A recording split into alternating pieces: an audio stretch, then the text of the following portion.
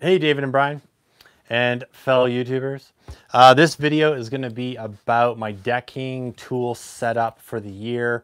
I'm mostly working out of my truck. I'm not really bringing my cargo trailers to sites because I'm using my dump trailer so much. So what I wanted to do was set up my tool system so I had minimal amount of packing of tools from my vehicle to the site and then obviously at nighttime from my truck to my house or to my shop.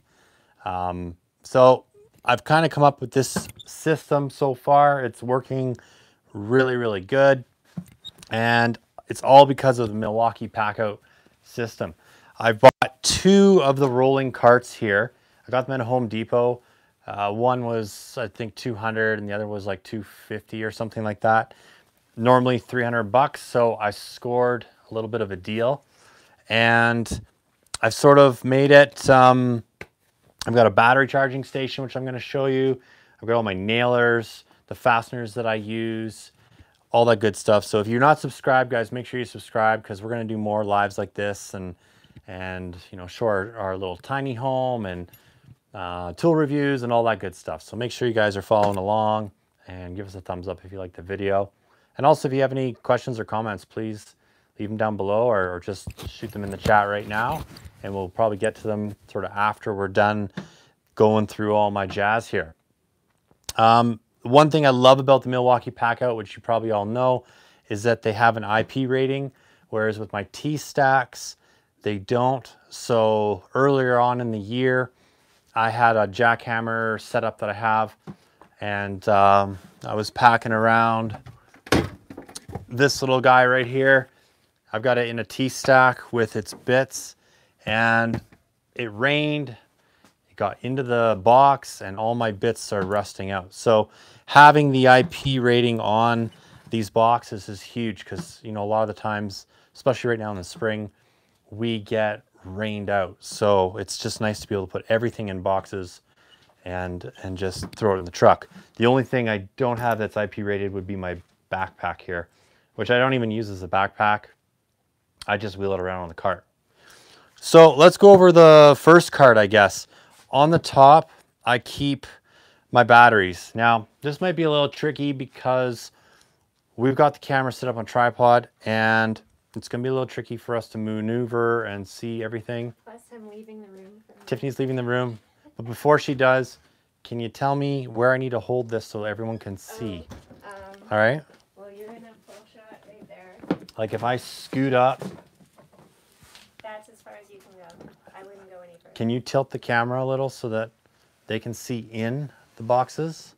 Uh, yeah, but okay. let me just go and come back. Tilt it here. All right, guys, bear with us. Live is always fun, right? Okay. So this first case, I keep all my DeWalt batteries, but I'm not just stuck with the DeWalt. I'm also using Milwaukee and Hitachi or Metabo. So I've got all my batteries in here and this pretty much gets me through the day. Obviously I have chargers going on as well. So that's my first case. And then I've labeled all the Milwaukee boxes. I wish they had more of a, a larger plate or an area where we could write on these things. So it's a little difficult, but whatever. So in this box, I've got my charging setup. So hopefully you guys can see that. And basically, I've just got a power bar in here. I've got two DeWalt chargers, a uh, Milwaukee 12 volt, my Metabo um, regular charger 18 volt or 20 volt, and then a Senco charger.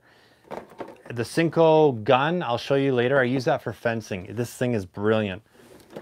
So that's sort of my charging setup. This is really nice because cords are such a pain in the butt.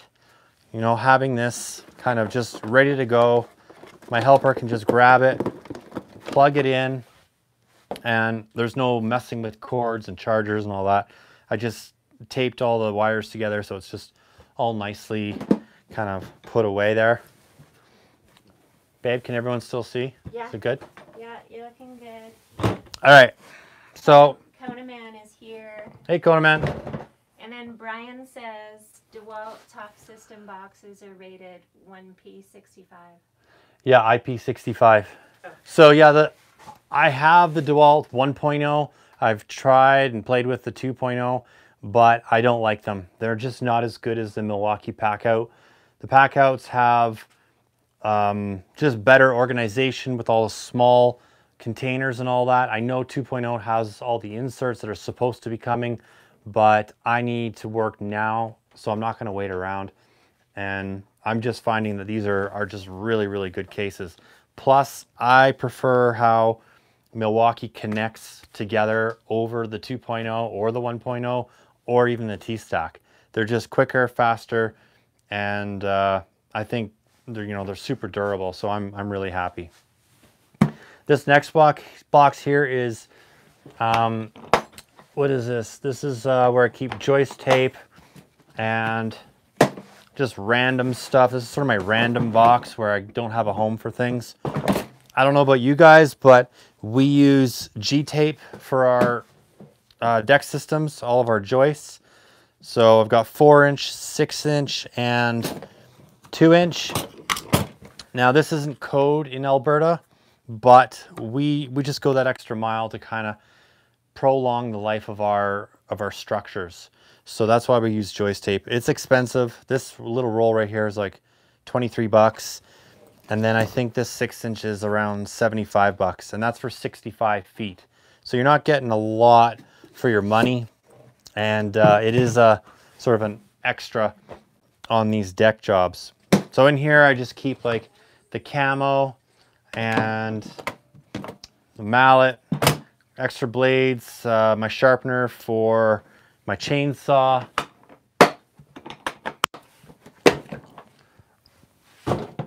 And then down here, this one is where I keep my nail guns. So the guns I'm using are all cordless. I've got, uh, well, we'll start off with the first one here. This is a Senco cordless gun. I first bought this for drywall and it works really well with drywall, but I'm, I'm more leaning towards the DeWalt gun now for drywalling and the Senco I use for fencing. So I'm putting in two inch screws, depending on the, on the board, but uh, this thing just goes so fast. It's amazing. And then also with fencing, I'm using a 16 gauge Hitachi cordless nailer. This is really good for softer woods. I've done reviews on all these tools, so if you guys want to see more in-depth stuff, just check out our channel because we've got reviews on absolutely everything I'm taking a look at here today. But um, this gun, I, I bought it for finishing, you know, using when you're hanging doors and stuff, but it sucks. I don't recommend it for hanging doors. The nails, putting a two inch nail in is, is a joke. They just, they don't set properly. However, using it on fencing, I like to use this to set all my fence boards and then I go back and I screw off. And I'm using stainless steel nails on this as well, so I don't need to worry about any kind of bleeding or anything. So it just really speeds up the productivity. I can just bang these all out, use my level, tweak it if I need to, and then uh, finish off with the screw gun. A lot of times we'll snap a line and get our screws like perfectly straight. I don't use uh, pneumatic nailers for putting up fence boards. I just I think it's sloppy. So we, we just, we're very precise with our screws and, and uh, I mean, you can do a hundred feet of fence in like an hour, no problem with this stuff. So that's sort of my fencing setup.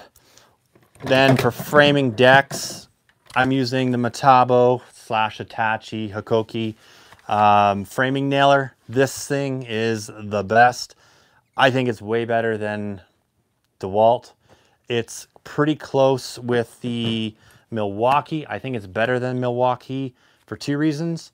Number one, it uh, fires better in the winter. And number two, it's one pound lighter.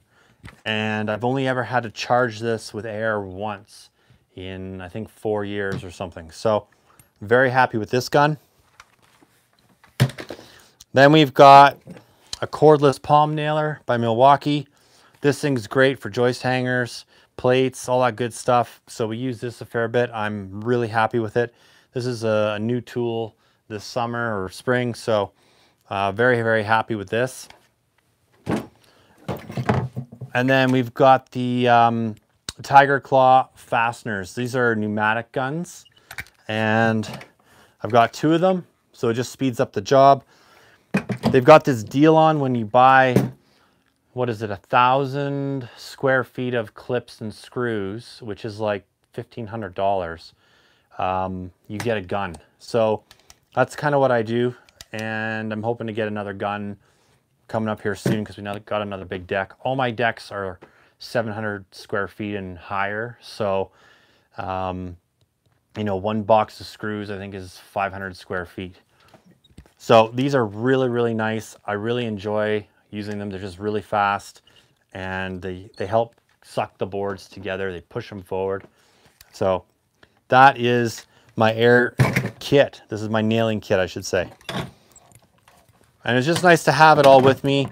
You know, the big biggest thing I've noticed not carrying a trailer, and I've been carrying a trailer for like 20 years, um, you forget one thing and it can screw up your whole day, just completely destroy it.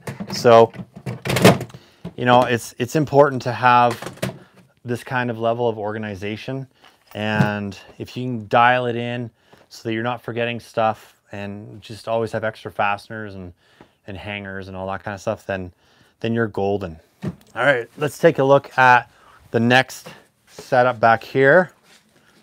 Slide this jazz out of the way.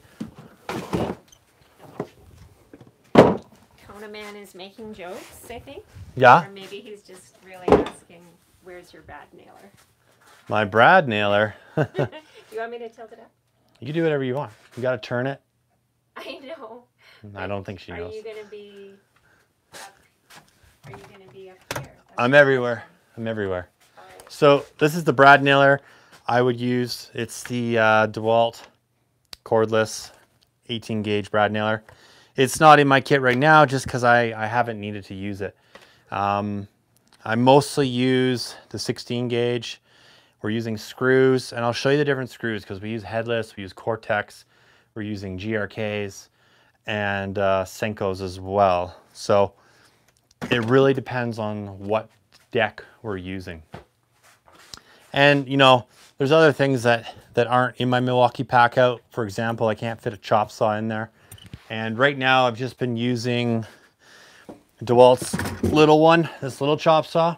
I love it because it's light and I can pack it in and out of my truck without giving myself a hernia. David said that was a nice gun. Thank you, David. It is. I'm I'm happy with it. I don't love the spooling sound. That's always a complaint. But I'm not about to go out and build, buy Milwaukee just because of the sound. So this thing's been good enough for me. Um, and then yeah, I've got for demos chainsaw all the way. You know, I make a lot of the money in the demolition of decks, and my goal is always to take that deck apart in half a day, a day at the most. And we're doing big decks, guys, like really big decks with pergolas and stuff. But having a chainsaw, the ability to just bucket up as fast as possible, getting into small pieces and getting it into my dump trailer so that I can dump it and be back on site the next day, drilling holes and preparing my posts and all that kind of stuff. So I'm doing layout. So that's why I'm always, you know, fastest tools, easiest tools. Some guys think sawzalls are faster, but they're not. Um, I skill saws are faster than a sawzall, and I'll I'll use a skill saw paired with the uh, the chainsaw to sort of demo my decks. So my bag is just got all my small stuff in it. Um, it's just kind of universal. I just carry it around. So in here, you know, I've showed this before. Babe, can they see on the screen? Okay. Oh, we have a question from David. Do you have the worm drive style saw from DeWalt? I don't. I don't. I've reviewed it, so there is a review on there. And Say you want to question is because they can't hear me. you want to tilt down? So David's asking if I have the worm drive uh, skill saw or circular saw. I don't. I've reviewed it. It's an awesome saw. It's a major game changer as far as power goes. Um, it's really, really easy to use. And, you know, we don't really use that type of saw here in, in Alberta very much. They are selling them at Home Depot. And uh, I just really, really like it. It's very easy to just let the tool do the work. I just came to answer Kona Man's question because he's asking if you own a dump trailer or if you rent it. I own. I actually know the answer to that. I'll let her answer. And not only does he own one, you're thinking about buying another one, right? Yeah. S- So I own a 12 foot load trailer dump trailer. It has, um, I don't think we've done a review on it, have we? No. No, we should. I've been using it a lot. So it's Yeah. it's like all black. It's low trailer. It's um, it's a great trailer. I've had it forever. I paid 11 grand for it like 10 years ago or something. It's got the full metal sides, so it's four feet high, and that thing is amazing. I I use it for my demolition, but then I a lot of the times I'll get my deliveries sent to my job sites as opposed to picking them up. It just saves time. I also have a area that I'm that I'm using where we're staging all of our jobs because this year is so crazy with wood prices, deck prices, availability. So we're literally buying like 10, 20 jobs and storing it all on this site. And uh, it's just a really, really great way. So I don't have to go to the lumber yard. I've got all my material for the whole year. And uh, it, it's just been a really, really good system. So I use the dump trailer to go to this place to load up my material and and not have to go to the lumber yards. And um, it, it's just a game changer. I also use this dump trailer when I'm doing like renovations. I can charge it out at uh, bin rates, which here is about $200 because it's the size of a 12 yard bin. It's the exact same size. So I've been able to pay it off over the whole course of owning it. And now it's at the point where it's paid off. It's actually earning me money. And it's just been something that's that's just been like invaluable for my my business. I bought it hoping to have it paid off. I, I did like a lease for five years and uh, it was paid off before that just by you know charging the client $200 per load and um, it's just been great and it's still it's still in great condition too. So there we go. I tend to rant. So yeah this is just like you know tools hand tools basic kit of a carpenter right? Wrenches screwdrivers hammers sawzall bits again everything in here i've done a review on this is a great dewalt kit these are really hard to find now um. Okay, it's this one here. It's the one that folds open like that. We did a review on this as well. I show my whole setup. And I've customized this, so it's not exactly what you'd buy. And th- these are called the tough cases. So these are really, really nice. So I'm not really going to go into my bag too much just because there's a lot in here, but I mostly keep like sawzall blades, multi-tool blades, and, and just all the small hand tools that I require David says he has the smaller one, but not that one. of the tough case. I think so. So Dave has a small tough case. Yeah, I've got a lot of them, and um, and I've got the big ones too. I'll just quickly grab one. So this this is the big one. This fits on your T stacks. This is almost impossible to find. I don't know about in the states, but here in Canada, they did a little promo, and now you can't find them anymore. So it's pretty it's pretty good as far as being able to like hold a bunch of stuff, but you know the bits they're all right. I haven't used it yet. It's just kind of on display here, and then when I need start needing bits, I'll I'll pull from it. And then obviously we've got these smaller tough cases as well, right? Which which you can get and customize and all kinds of stuff. So that's the bag. So then the small guy here, is my PPE box. This is where I just, it's really nice to have. I keep my knee pads in here. I keep my uh, 3M mask. I don't know if you guys are aware, but cedar dust is really, really bad for you.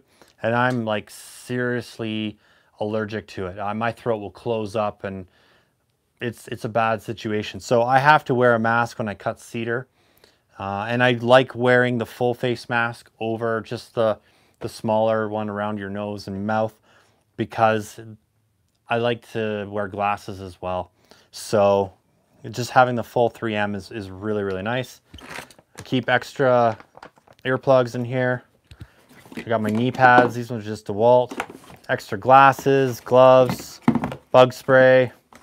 I got my laser mount in here too. So that's what I use this kit for and it's it's been really really nice to have. Keeps me organized. Hey, um, Yep. do you want to? Do you want me to put the camera down? Up? No. I'm just having a drink of water. I'm gonna come in with you and sit there because there's so many comments. All right. Yeah, I'm probably going too fast here. You just go down because the camera's pointed down. You can see my feet. Yeah. All right. Are you gonna sit over there? No, I'll go right here. Okay. Are we good? So, oh, that's so dirty. It's fine. It's so dirty. It's okay. No. It's not Is there a okay. piece of wood? No, Yeah. Yeah. Just- How about I sit on this? it's clean now. It's not clean. She's sitting on batu wood, so oh, we'll, Yeah. I'll show you what that is later. Only the best for me. so we've had so many comments. So All right. um, let's let's answer some questions, Let's see. and then we'll get back to the um, the other tools. Oh yeah. So Matt Dorting says your reviews are great. Help Thanks, me Matt. make a few purchases. Right on. Appreciate it. That's awesome.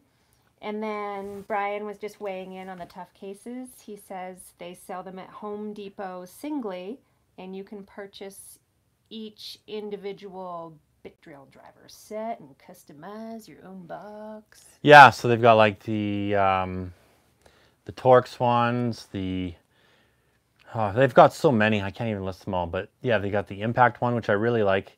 It's got the different impact sockets, and they've got one that's just sort of like a multi pack with some drivers and flex bits and things like that. So And yeah, they're good. Kona Man is saying he bought that one, and we're so behind now on the comments. Sorry, Kona Man.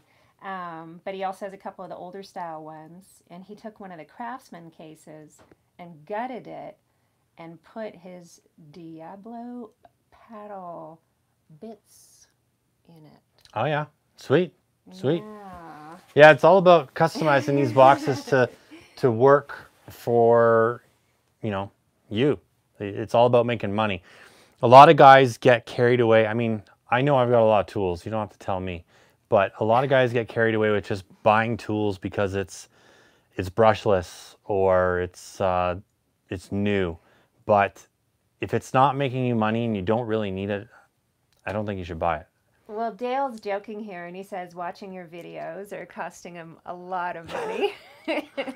Yeah. But hopefully, he's buying the right tools that are uh, working for him and making him money. Yeah, I mean, I'm guilty of loving tools and just, you know, what's new and, and all that kind of stuff. But I I justify it a lot of the times by I'm either running a crew and I can just put it into the whole mix, or um, it's just you know it's time to get a new drill. Like I've had the same DeWalt hammer drill for years, and it wasn't until this year I bought two new ones, and I only bought two because one was on sale, like really on sale, like a hundred dollars off. So, so, okay, and my other one burnt out. I actually burned it. It caught on fire. It burnt out. I think we got that on video too. yeah, we did actually. Yeah. Um, but talking about money here, um, Kona Man said something interesting a while Hmm. back. He says you need to increase your prices for your dump trailer. Um, Oh yeah, so, I, well, that's two hundred Canadian. Where's Kona Man from? Uh, well, can't remember. So he just, I think he's from the states, um, but he just mentioned Craftsman, and isn't that a Canadian brand? Yes. So he's Oh no! I am learning this stuff despite myself. Why on earth would I know that? Craftsman is a Canadian brand. well, you know, it because you film me all the time. Golly. Okay, so that makes me think that Kona Man's in Canada. Yeah. And so we're also just on the topic of Canada. I mean, there's so many comments. Um, uh, someone was asking, oh yeah, Leo was asking, how is COVID working in Alberta? Good question. I mean, Yeah. for for us, we've switched gears. We were primarily uh, renovations, interior renovations, high end homes, all that kind of stuff. And a lot of those clients have stopped.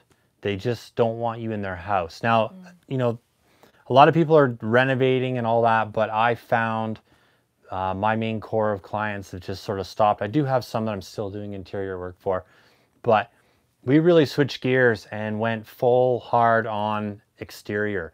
We could see it coming. We we just sort of planned for it and and we're we're just pounding out fences and decks and and really nice ones like hundred thousand dollar decks. So But we're also really lucky because, I mean, we just got really strict right here. Our cases have been going up. So, right now, all the kids are out of school. They're learning at home. Yeah. And uh, people who uh, work in offices, everyone has to work at home. Yeah. But unlike Ontario, um, guys in construction have been able to stay on the job. So, that's Yeah. really great. The restrictions haven't affected you. yeah, we haven't had any holdbacks. You know, we we've been going to work the whole time. It's not like Ontario's had issues. I know New Zealand, um, they sh- they're really strict. They shut those guys down all the time, and they don't know when they can go to work and when they can't. So, um, yeah, it's it's tricky. It's scary, and I hope everyone's you know working safe and being safe and all that stuff because it's just uncharted territories, right? Okay, so moving on. Kona Man, who has lots of comments. Oh, Yeah. wait. First of all, David wants to know what caught on fire? What was that? On my drill, I'll grab it. It was, but you know, it was hard to catch that This on one? camera. It was smoking. It Oh. wasn't really on fire. Yeah, it was it was smoking. This isn't it, but it's it's the this is the DCD 996. It's this is the newer version of it. I actually gave it to my helper, the one that burnt out, but it it still works. You just can't put a lot of load on it. So it's the uh, older version of this. Um, oh, Leo says he has to get vaccinated to go to work. Is is your company requiring that? Yeah, that's interesting. We got a, That's we really have interesting.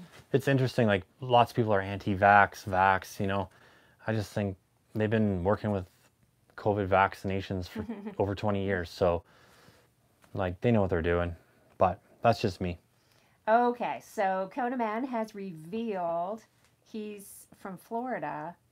Um, Right on. And he watches a guy on YouTube from the Boston area who charges 500 per load for the dump trailer. Okay, so let me let me clarify on that.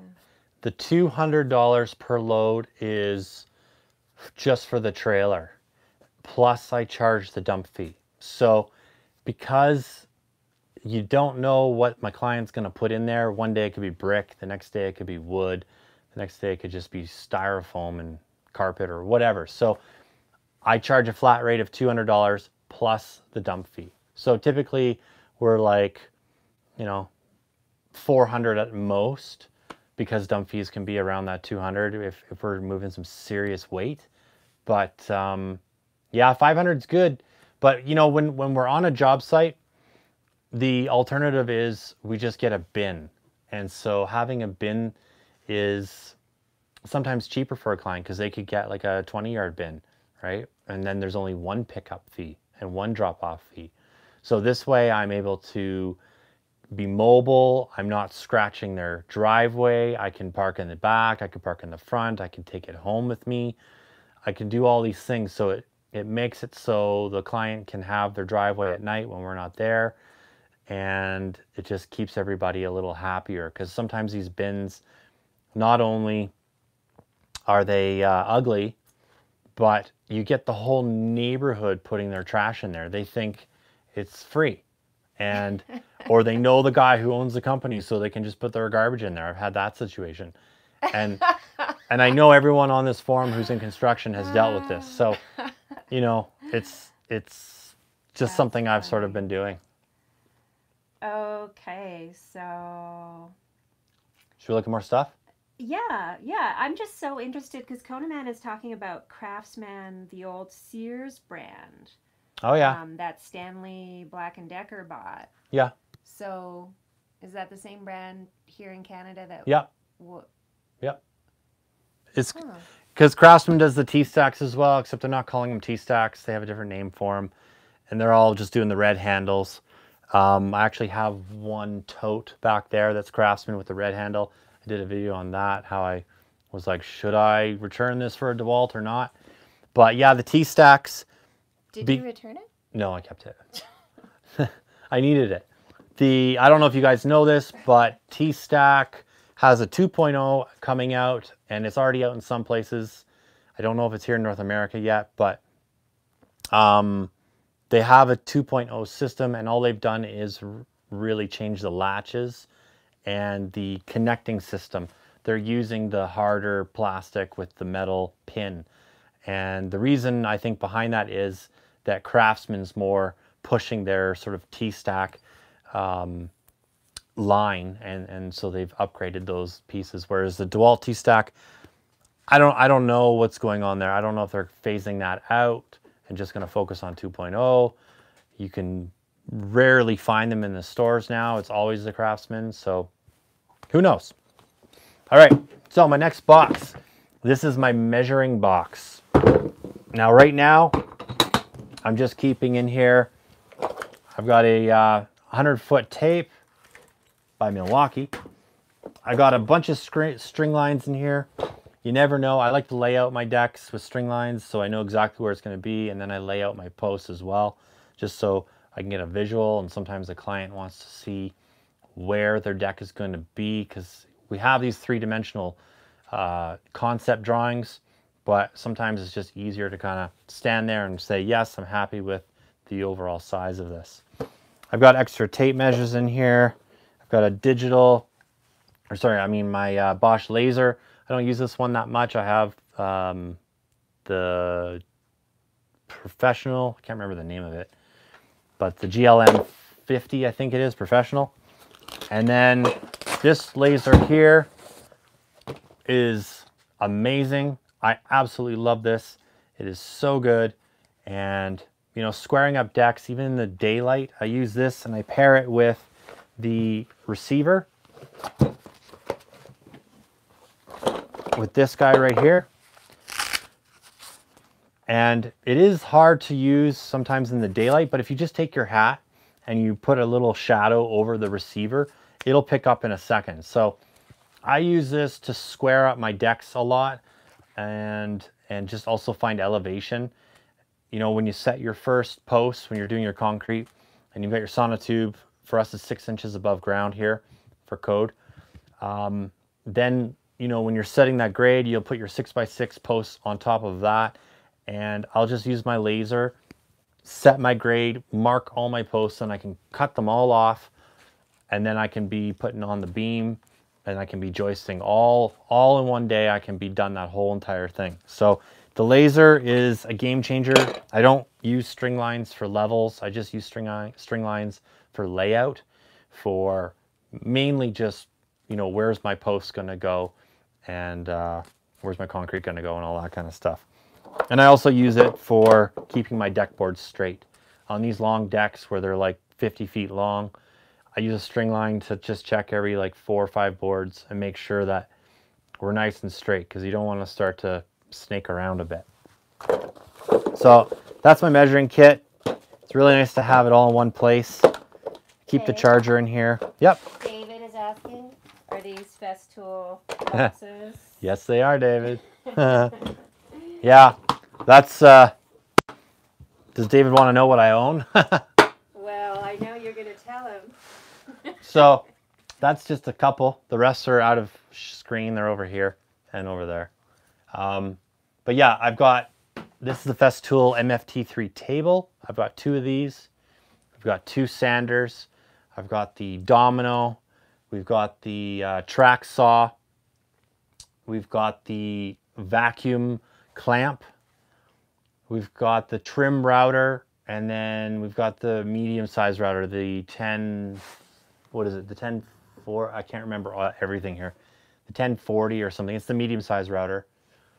And then just little accessories and stuff. But my Festool is when I'm doing serious finishing, cabinetry, kitchens, um, custom millwork, all that kind of stuff. That's when I bring out the gray boxes. So. You're a tool hoarder. I'm not a tool hoarder. If I was a tool hoarder, I would not be using using the tools. Okay. So I use my tools. I might even abuse some of them. But but no, I'm not a, a hoarder. Uh, well, okay. So David did want to know, so it's a good thing you went through the the list. Good eye, David. Yeah, you, you spot those things. They're yeah. Like, he's saying that must be expensive. Yeah. correct. yeah, you have no idea. Well, I I went out. I was doing this extremely, extremely expensive renovation, and um, the wood was all pre-finished. It was all stained. It was beautiful wood. I could not scratch it, so that's why I ended up getting some of the Festool stuff, like the sanders and the vacuum clamp, and some of the the routers to to work with this material. Um, and yeah, it, it's not cheap. I mean, you guys know what Festool prices are. They don't really change anywhere. They're all kind of the same price. So yeah, it was an investment, but it's a total game changer. It takes you from here, if you're a good carpenter, up to here. Like the tool, it just changes how how you build, how you put things together, and the end product is is always amazing. So, not to mention the sanders. Um, by far the best type of sander I've ever used. Maybe Mirka, I think is probably similar, but I haven't used those yet. But um, as far as vibration goes, that's a big thing for me because I've got bad tennis elbow. And uh, having a nice Festool sander, the orbitals, you, don't feel it. So, yeah. All right, next.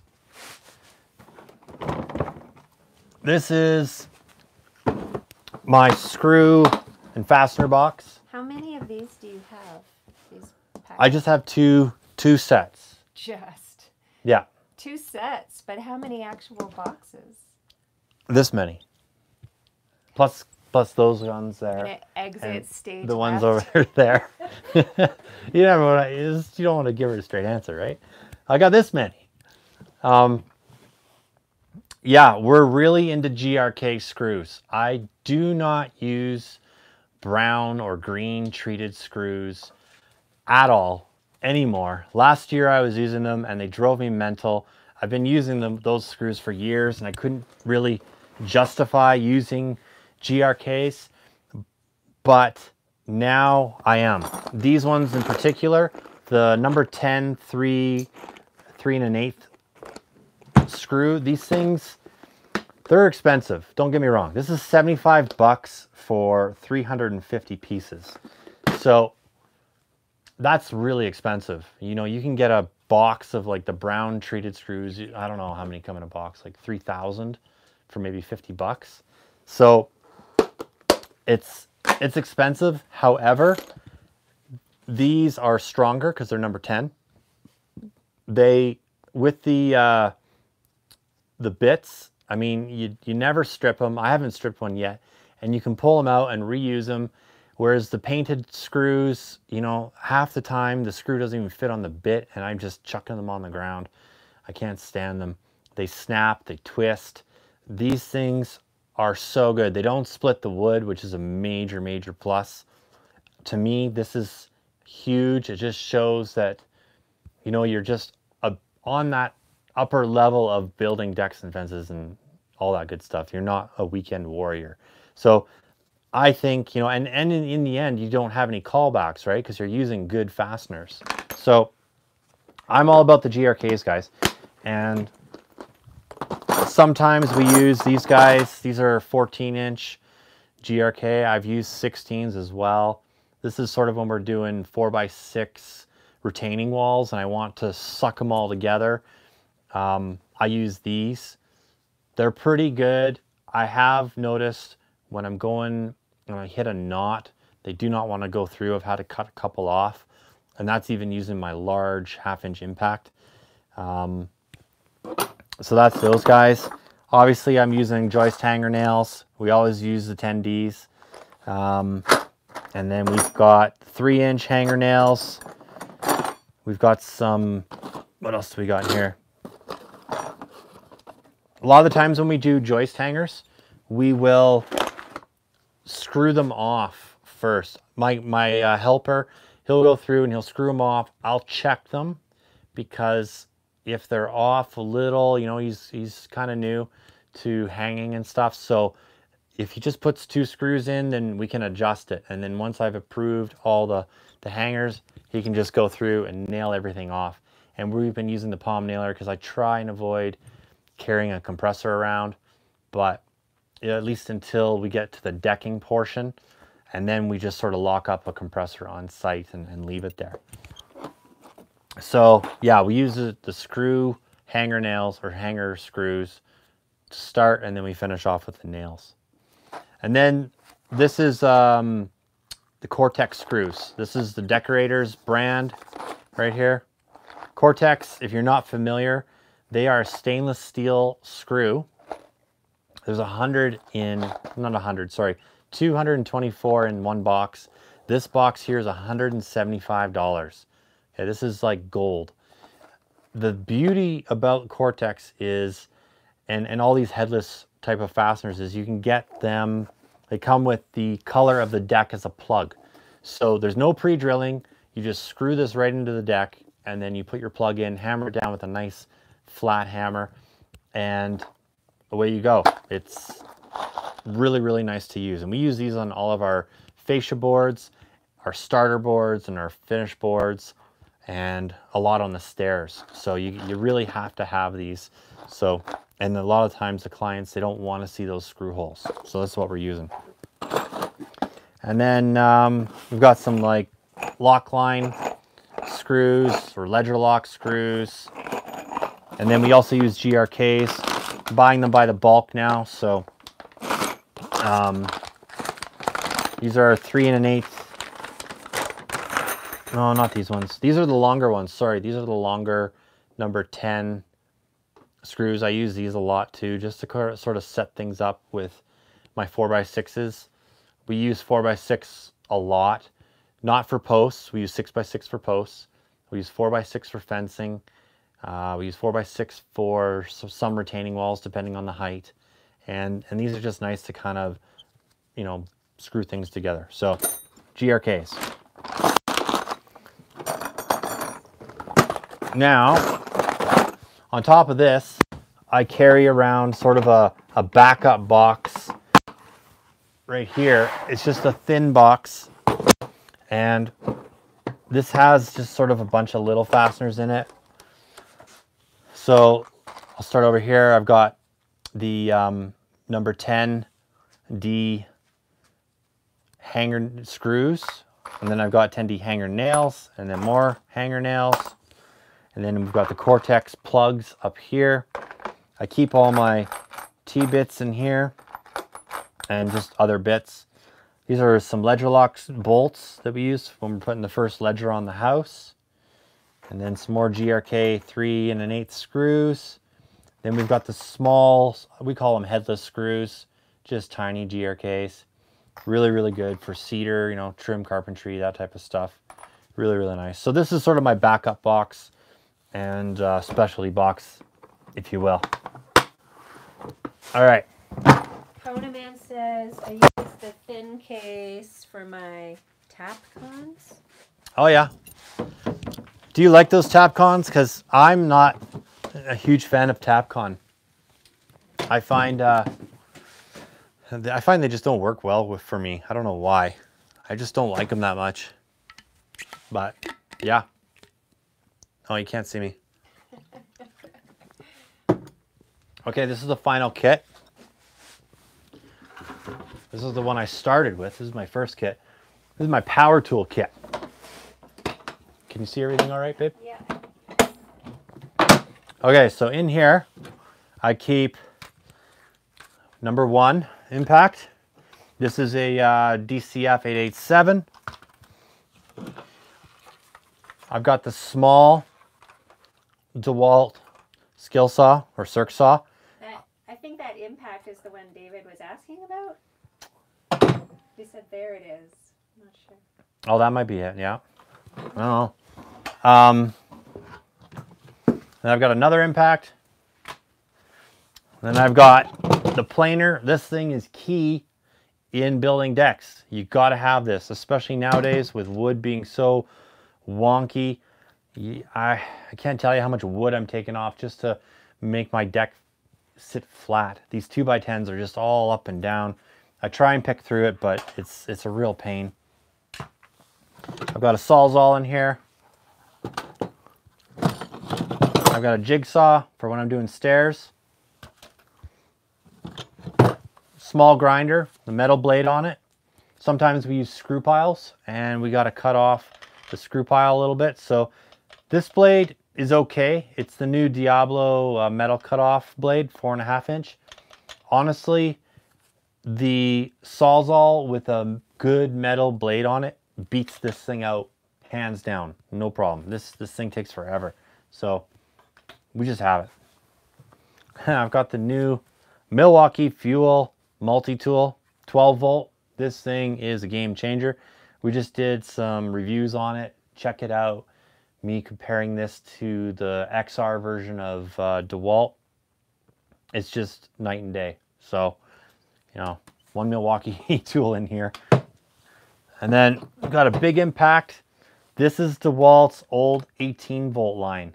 And I've got a couple of these from back in the day and I just stuck the adapter on here. This is the DW059. This is what I use for some big heavy bolts, you know, uh, ledger lock sometimes or those 14 inch GRKs. And then we've got the right angle drill. Sometimes we need this. We used this last time when we were connecting the 6x6 posts to a plate on a screw pile.